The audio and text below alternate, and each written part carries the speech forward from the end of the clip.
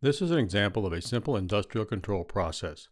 A mixer motor is designed to operate when a preset pressure and temperature are both met or when a manual push button is pushed. This is the schematic of the circuit as it would look if it was to be a hardwired circuit.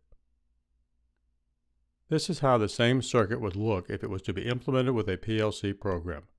The inputs on the left and the output on the right would still have hardwired connections between the PLC and the field devices. The program in the middle would be entered into a computer and then downloaded to the PLC. This simulation has been captured from the LogixPro 500 software. This software is included with the LogixPro PLC lab manual that supplements the textbook. The lab manual contains over 250 student lab exercises that can be programmed using this simulator or any PLC.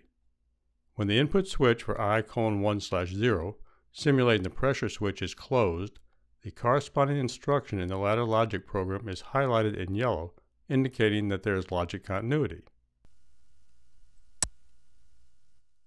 When the input switch for I colon 1 slash 1, simulating the temperature switch is closed, the corresponding instruction in the ladder logic is highlighted.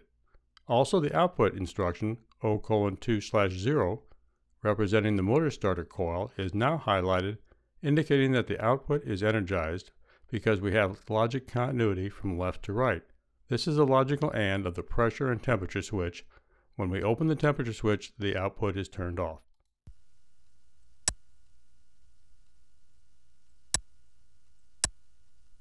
When we close the input switch for I colon 1 slash 2, simulating a manual push button, the motor starter coil output is immediately turned on.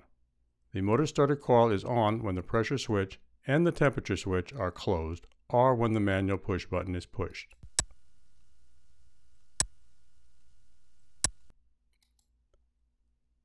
If it is necessary to modify the logic that determines when the motor starter coil will turn on, it is relatively simple to make the change with a PLC.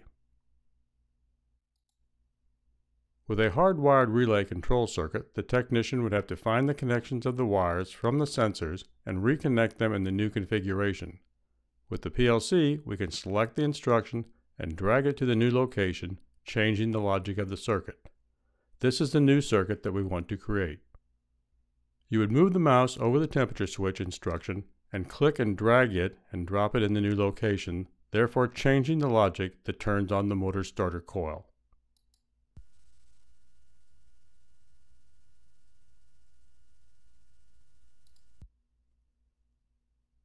Then you would click on Download to simulate transferring the changed program from the computer you were using to write the program to the memory of the PLC. You would then click on Run to change the PLC from the program mode to the run mode.